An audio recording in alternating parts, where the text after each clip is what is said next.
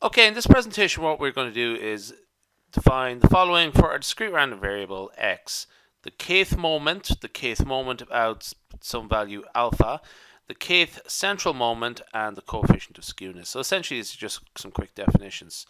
So the kth moment is the expected value of x squared, where x is the discrete random variable. Okay. The kth moment about alpha is essentially the, ex the expected value of x minus alpha to the power of k. The central moment is the expected value of x minus mu, or mu is the mean. Uh, the expected so that x minus mu to the power of k, what's the expected value of that?